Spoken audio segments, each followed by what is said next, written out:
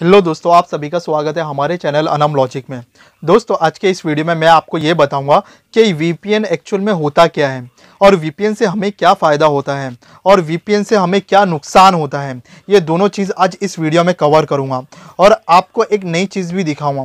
तो चलिए दोस्तों, शुरू करते हैं। अगर मेरे चैनल में नए हो तो सबसे पहले मेरे चैनल को सब्सक्राइब कर लीजिए और साथ ही साथ बेल आइकन का बटन भी दबा दीजिए ताकि जब भी मैं कोई इंटरेस्टिंग वीडियो लेके आऊँ तो सबसे पहले नोटिफिकेशन आपको मिल। जाए।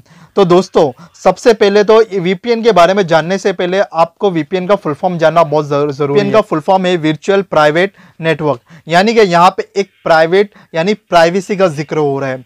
तो मतलब ये होता है कि ये जो चीज़ है ये हमारी जो प्राइवेसी को है जो प्राइवेट चीज़ है उसको प्राइवेसी तौर पर रखती है। जैसे कि फॉर एग्ज़ाम्पल हमारी हमारे देश में जो भी साइट ब्लॉक होती है और उन साइट्स की हमको ज़रूरत होती है। तो हमें क्या है कि वीपीएन हमारी हेल्प करता है कि हम उस उस साइट्स को हम यहाँ पे ओपन कर सकें। क्योंकि आपको भी तो पता है, हर एक नेटवर्क जो है आईएसपी के थ्रू एक दूसरे नेटवर्क से जुड़ा हुआ होता है। यानी आईएसपी का आईएसपी का मतलब ये होता है दोस्तों, जैसे कि फॉर एग्ज़ाम्पल वो जियो हो सकता है आइडिया हो सकता है, और अपना जो वोडाफोन है वो हो सकता है। यानी कि हम जो भी चीज़, यहाँ पे फॉर एग्ज़ाम्पल हम गूगल क्रोम ओपन करते हैं।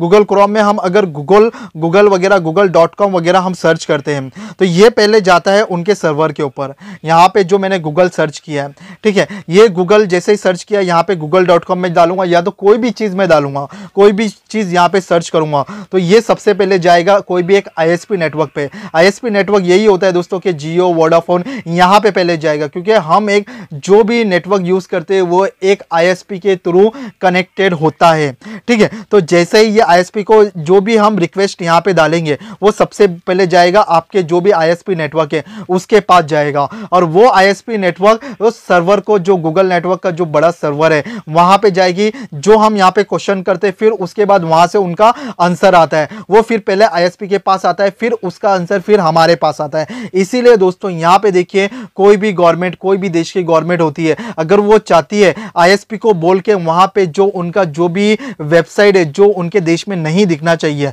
वो वेबसाइट को ब्लॉक कर सकती है, आए दिन कभी भी। ठीक है? लेकिन इन फ्यूचर हमें कोई भी चीज़ की ज़रूरत हो, कोई भी वेबसाइट की हमें ज़रूरत होती है तो हम वीपीएन के थ्रू बड़ी आसानी से उस का एक्सेस कर सकते हैं और उन वेबसाइट को वहाँ पे जो देश में जो गवर्नमेंट अगर ब्लॉक करती है तो उस देश पे हम बड़ी आसानी से उसका एक्सेस एक्सेस प्राप्त करके यहाँ पे हम यूज़ कर सकते हैं। और दूसरा वीपीएन का फ़ायदा दोस्तों ये होता है कि आजकल देखिए दोस्तों के बहुत ही ज़्यादा लोग ऐसे होते हैं कि बहुत ही ज़्यादा मतलब ऐसा है कि आजकल डिजिटल चीज़ें हो गई है। तो डिजिटल चीज़ें हो गई है सारा चीज़ डिजिटल हो रहा है। तो आपको तो पता है कि पहले चोर घर में घुसकर चोरियाँ करते थे, अब घर बैठे चोरियाँ कर रहे हैं। ठीक है? तो वीपीएन हमें इन सब चीज़ों से बचाता है। वीपीएन क्या है? हमारी प्राइवेसी को कंटेन रखता है। मतलब कि कंटिन्यूस हमारे प्राइवेसी को बचाता है। यहाँ पे क्या होता है कि कोई भी चीज़ें हम डायरेक्टली कोई भी चीज़ हम सर्च करते हैं, कोई भी डेटा या कोई भी चीज़ कर सर्च करते हैं, हम कहीं पे भी चले जाते हैं। ठीक है? वहाँ पर हमको फ्री का वाईफाई यूज़ करने दिया जाता है। तो हम ये सोचते हैं कि हम ये फ्री का वाईफाई यूज़ करें तो हमको बहुत सारे बेनिफिट यहाँ पे मिल सकते हैं।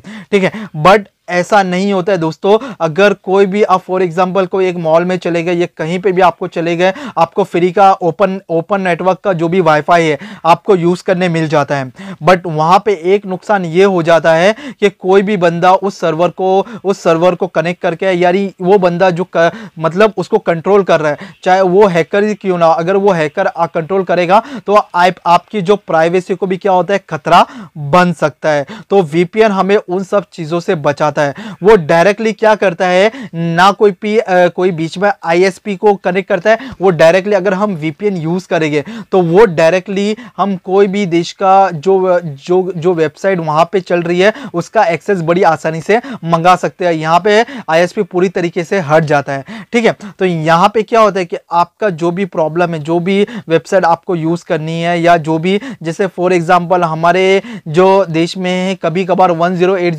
या टू 1000 में हमारा दिखता नहीं है। लेकिन हम क्या वीपीएन के थ्रू कनेक्ट करके हम 2000 की क्लैरिटी में एचडी में हम यहाँ पे क्या है, अपने जो यूट्यूब वीडियो से उसको बड़ी आसानी से देख सकते हैं, जो कि वो यूएसए में दिखता है और इंडिया में फॉर एग्ज़ाम्पल के तौर पर बता रहा हूँ कि यूएसए में फुल एचडी यानी वन की एचडी फुल दिखती है बट यहाँ पे क्या इंडिया में वो नहीं दिखती है। तो हम क्या कर सकते हैं वीपीएन के थ्रू उसका एक्सेस करके 1080 की एचडी क्वालिटी में भी यहाँ पे हम देख सकते हैं। दोस्तों, ये तो हो गया। और एक और चीज़ मैं आपको बता दूँ, मैंने आपको बताया था कोई इंटरेस्टिंग चीज़। यानी कि आजकल जो इंडिया में पबजी बैंड हो गया है तो बहुत सारे लोग ये सर्च करने लगे कि वीपीएन के थ्रू हम पबजी किस तरीके से स्टार्ट करो। तो दोस्तों, उसका भी एक वीपीएन आ गया कि हम पबजी देखिए इंडिया में तो बैंड हो गया है बट यूएसए में कनाडा में ये सब जगह पे पबजी बहुत ही ज़्यादा उदम मचा रहा है, यानी कि बहुत ज़्यादा चल रहा है। तो हम क्या कर सकते हैं वीपीएन के थ्रू हम क्या कर सकते हैं, उसे कनेक्ट करके हम पबजी को इंडिया में भी खेल सकते हैं।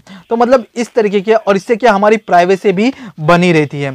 तो दोस्तों, ये है कि वीपीएन क्या होता है, अभी मुझे अच्छी तरह लगता है कि आपको समझ में आ गया होगा कि वीपीएन एक्चुअल में क्या होता है। और यहाँ पे देखिए, मैं गूगल प्ले स्टोर पर भी जाता हूँ तो यहाँ पर भी लोग बहुत सारा सर्च करते हैं कि वीपीएन फॉर पबजी करके। तो यहाँ पर भी बहुत सारे ऑप्शन आ जाते हैं। अब इसमें से मैंने नहीं सकता कौन सा वीपीएन सही है, वो मुझे भी नहीं पता है।